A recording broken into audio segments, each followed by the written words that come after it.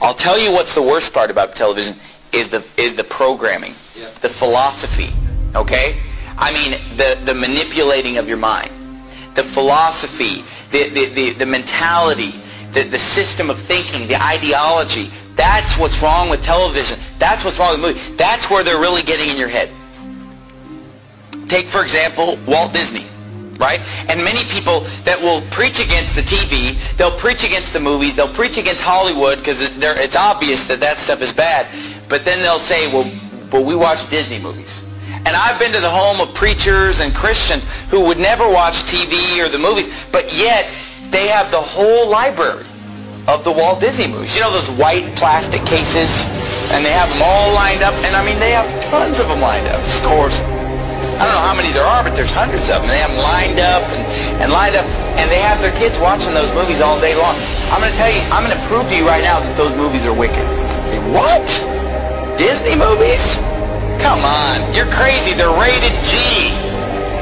Well, let's see. First of all, did you know this? Did you know that Disney movies are filled with subliminal messages? Subliminal messages. Now, we're ta- what are we talking about tonight? Sorcery.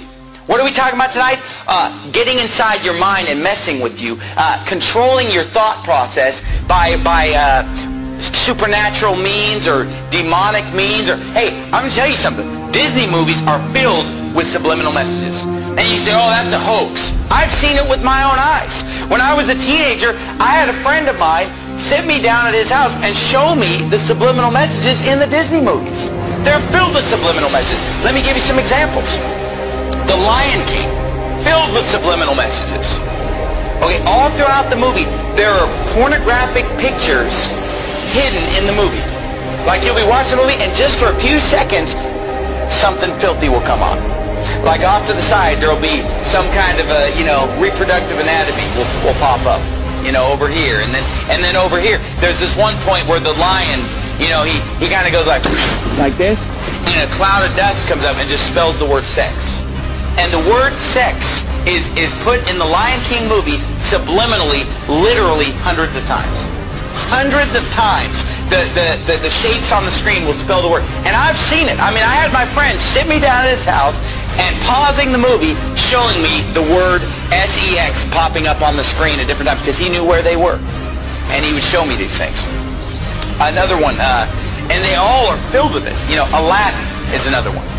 In the movie Aladdin, uh, there's a there's a part in the movie where the guy, the what's his name, Aladdin. There's a point in the movie where he tells Jasmine to take all her clothes off, but you don't even know it unless you know it's there. You listen to it, and he mumbles it kind of under his breath. Leave me alone. So how's our little Bo doing? Come on, good. Come here. Take off. So how's our little Bo doing? Come on, good. Come here. Take off. On, good. Here. Take off. On, good. Here. Take off. I mean, once you know it's there, you hear it just as clear as day. But you didn't know that it was there, you wouldn't hear it. And uh, The Little Mermaid has a, a filthy picture drawn in the cover on the front of The Little Mermaid. And nobody would realize it until somebody shows you and says, look at this. And you look at it, whoa! And all throughout the movie, there are scenes, I'm not even going to describe some of the scenes in The Little Mermaid, where subliminal messages are coming on the screen. Uh, the, the other movie, uh, Beauty and the Beast. There, you know, a nude woman pops up a few times in the background of Beauty and the Beast, filled with subliminal messages. Your kids are watching it, and their mind is maybe not even seeing it, but it's going into their subconscious. Words flashing on the screen over and over. S-E-X, S-E-X, S-E, you know, nudity, uh, uh, filth, just all the smut is just coming on the screen. Come on. Oh, those movies are harmless. They're filled with subliminal messages. Who knows what your kids are being programmed? Oh, but you know what? I'm sure that it's only just the Disney movies. I'll guarantee you it's the rest of Hollywood probably doing the same thing. And these Disney movies, at first when I was a teenager and somebody showed me this, I thought it was just a couple movies, a couple scenes.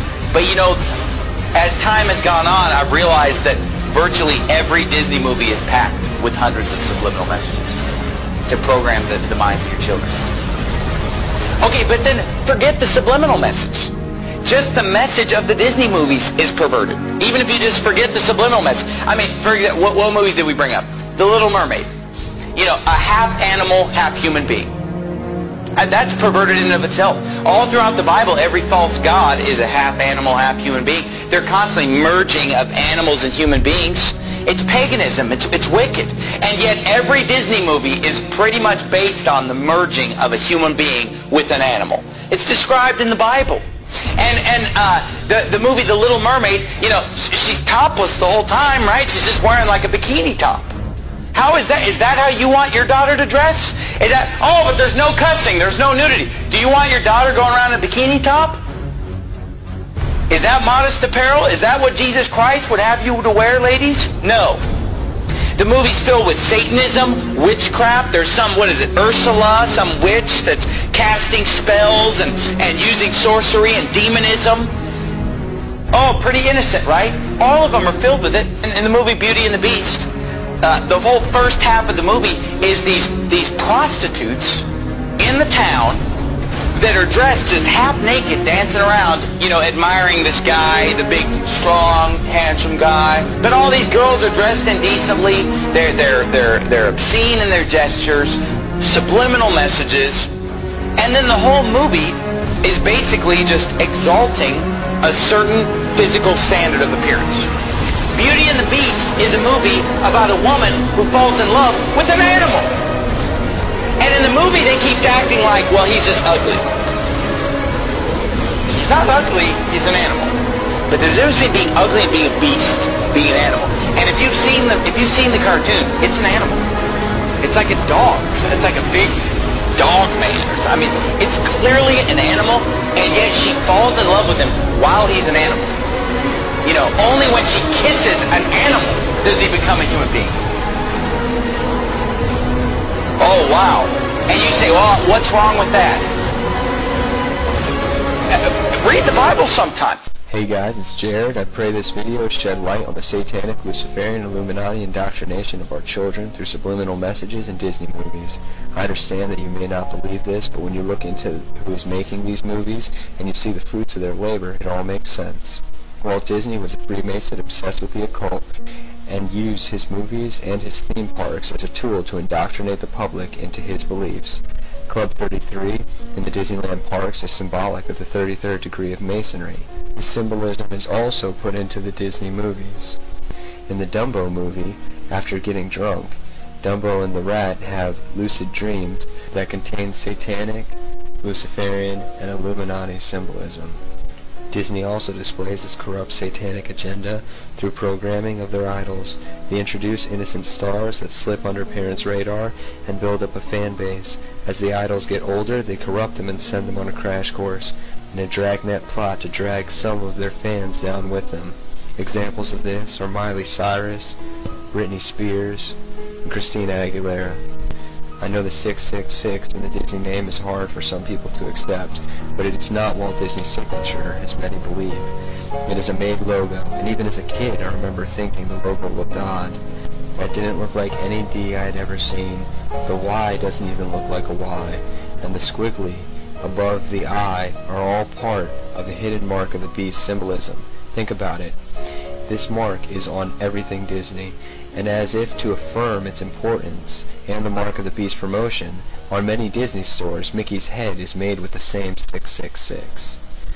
If you still think it's a stretch, then you're probably comfortable with the hand scanning technology they are implementing for VIPs to enter their park and access their rooms. It is a forerunner for the RFID Mark of the Beast technology. They are getting the people ready. All these plots are satanic in nature. If you understand the Masons, Illuminati, and the times that we're living in, it should all be obvious to you. Jesus Christ came to save us from this system. In 1 John 2.15, he said, Do not love the world, or anything in the world. If anyone loves the world, the love of the Father is not in him. Jesus knew this system that Satan was going to be creating. He knew about Disney before it was even here. Satan doesn't play fair. He doesn't wait until you get older before he starts trying to plant his lies in you. He wants to get kids as young as possible and indoctrinate them into his system.